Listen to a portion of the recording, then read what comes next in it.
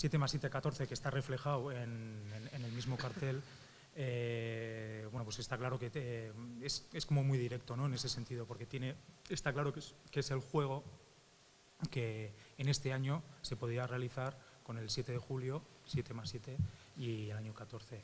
Eh, al, mismo, al mismo tiempo, pues la técnica que, que ha realizado es una técnica pictórica, porque está eh, directamente sobre su soporte, y, bueno, y eso, le, eh, eso le ha permitido pues, que tenga cierta, cierto gesto, ¿no?